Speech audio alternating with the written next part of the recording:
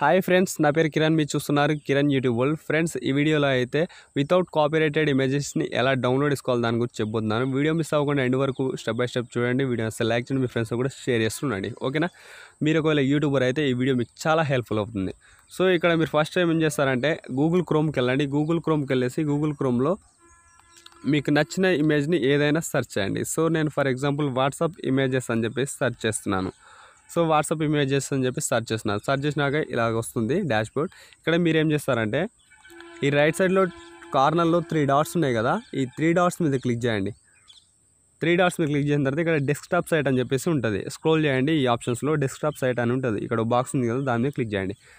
Click చేసినట్టయితే ఇలా desktop సైడ్లోకి వెళ్ళిపోతుంది. ఏం లేదు కంప్యూటర్ స్క్రీన్ ఎలా చూపిస్తుందో అలాగే చూపిస్తుంది. సో దీన్ని ఇలా జూమ్ చేసుకోండి. జూమ్ చేసుకుంటే ఇక్కడ ఆల్ అని చెప్పేస్తుంది కదా దాని పక్కన ఇమేజెస్ ఉంది కదా ఇమేజెస్ మీద క్లిక్ చేయండి. సో క్లిక్ చేసిన తర్వాత మళ్ళీ ఏం చేస్తారంటే మళ్ళీ జూమ్ చేయండి. జూమ్ చేసినట్టయితే ఇక్కడ పైన ఇక్కడ లైన్ లైన్ లైన్గా ఉన్నాయి కదా ఇక్కడ వచ్చేసి టూల్స్ అని చెప్పేసి ఉంది చూడండి. ఈ టూల్స్ మీద క్లిక్ చేయండి. టూల్స్ మీద క్లిక్ చేసినట్టయితే కింద మళ్ళీ ఆప్షన్స్ వచ్చినాయి.